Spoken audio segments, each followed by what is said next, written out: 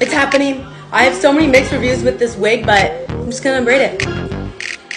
Let's do it. This literally isn't like a hair tie. All right, hair tie is off. Let's start on braiding.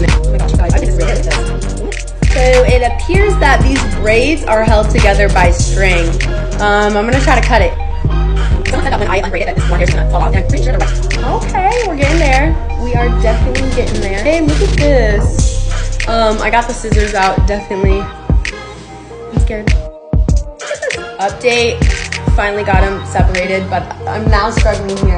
All right, I decided to take the wig off. I'm just gonna cut this. Look at all this yarn.